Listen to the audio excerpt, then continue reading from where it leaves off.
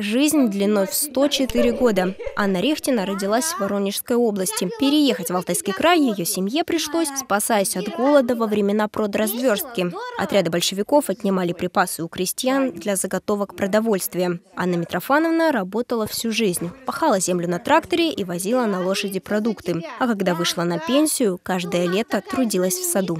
Вот работать, вот работать принесла.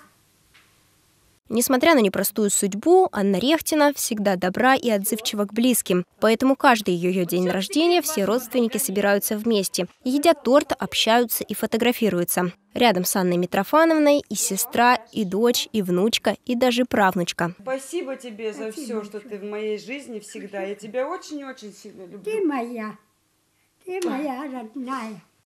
Сколько себя помню, ну, не было такого, чтобы она на- с кем-то ругалась, на кого-то обиделась. И последнее всегда отдавала. Поэтому, ну, вот поэтому она и живет. Больше всего Анна Митрофановна любит музыку, поэтому сюрприз в этом году гости устроили ей соответствующий.